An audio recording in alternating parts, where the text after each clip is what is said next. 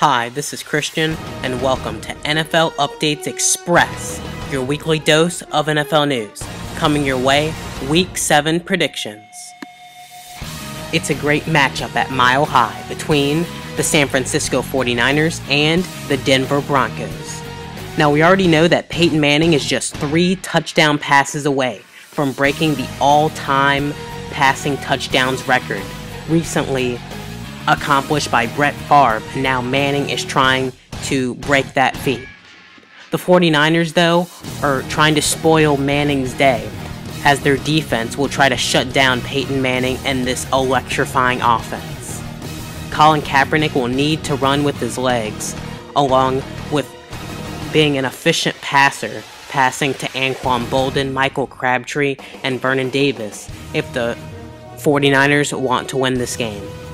The Broncos defense with Aqib Talib and other big stars like Demarcus Ware will be key to stopping Colin Kaepernick in this offense. But overall, I see the Denver Broncos winning this game. Dylan's prediction is the Denver Broncos. It's a great matchup at Ford Field between the 4 and 2 Detroit Lions and the 2 and 3 New Orleans Saints. Now, the New Orleans Saints are having a tough season with Drew Brees not playing up to his usual standards, and the defense losing Jairus Byrd uh, as well has propelled the New Orleans Saints at a 2 and 3 record. But it's okay because Drew Brees can start up at any time, and even without Jimmy Graham most likely for this week, they still have Marques Colston and Brandin Cooks who can also help this game, along with Pierre Thomas at the running back position. The Detroit Lions, on the other hand, well, Calvin Johnson hasn't played the past few weeks, but Golden Tate has stepped up big time for Matthew Stafford in this offense. And if Golden Tate can continue his production, I see the Detroit Lions beating the New Orleans Saints at Ford Field. Dylan's prediction is the Detroit Lions. It's a great Monday Night Football matchup between the Houston Texans and the Pittsburgh Steelers.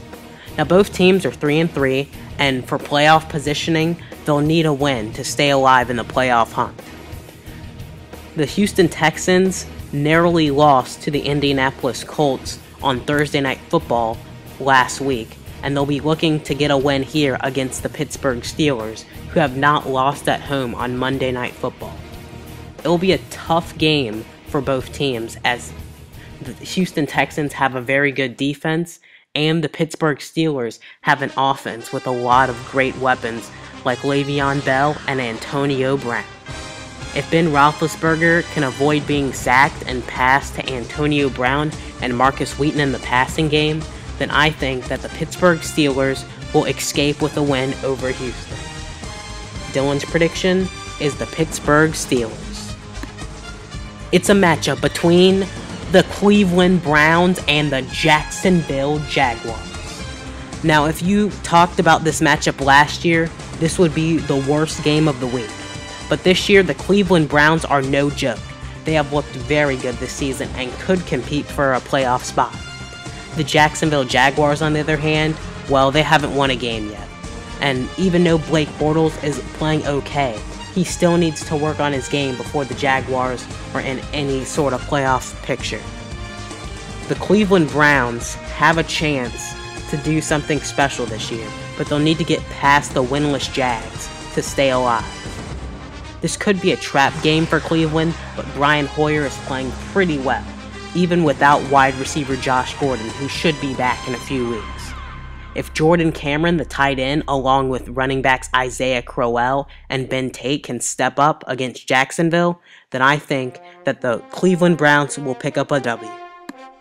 Dylan's prediction is the Jacksonville Jaguars.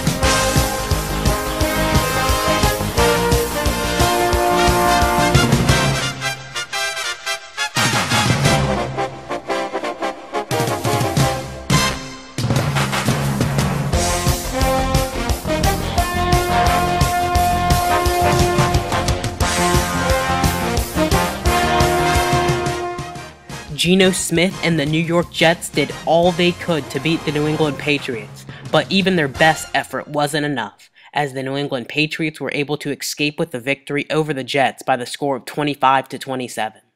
It looks like the Jets could steal a win against the New England Patriots on Thursday Night Football, but a blocked field goal by the Patriots gave the Patriots a big win over their division rivals. Shane Vereen caught two touchdown passes from Tom Brady, and the Patriots were able to escape with the win, 27 to 25. Another week down. Here's how it went. The Colts over the Texans, the Browns over the Steelers, the Patriots over the Bills, the Panthers and the Bengals tied, the Titans over the Jaguars, the Packers over the Dolphins, the Lions over the Vikings, the Broncos over the Jets, the Ravens over the Buccaneers, the Chargers over the Raiders, the Bears over the Falcons, the Cowboys over the Seahawks, the Cardinals over the Redskins, the Eagles over the Giants, and the 49ers over the Rams. The game of the week was Packers versus Dolphins, and the upset of the week was Steelers versus Browns. My prediction record for this week was 10 4 and 1, and Dylan's prediction record for this week was 11 3 and 1. My prediction record for the entire year is 49 39 and 1, and Dylan's prediction record for the entire year is 57 31 and 1.